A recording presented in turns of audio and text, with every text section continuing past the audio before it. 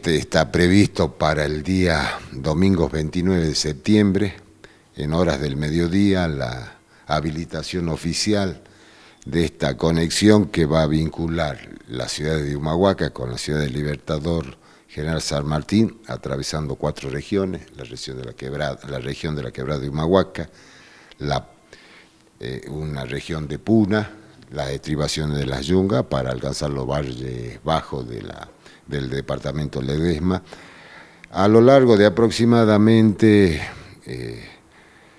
240 eh, kilómetros, un recorrido muy pintoresco por la geografía eh, que, atraviesa y de estas cuatro regiones, pero fundamentalmente porque definitivamente va a poder realizar, eh, se va a lograr conectar social y culturalmente todas las, localidades y pueblos del departamento Valle, eh, Valle Grande.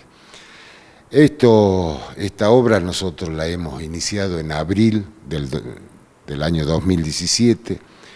y que, bueno,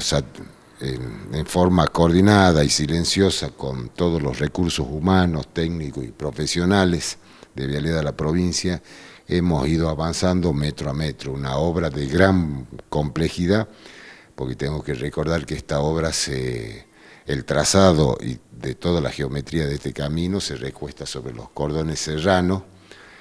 de las estribaciones de la yunga que vinculan Valle Colorado con el pueblo de Santana.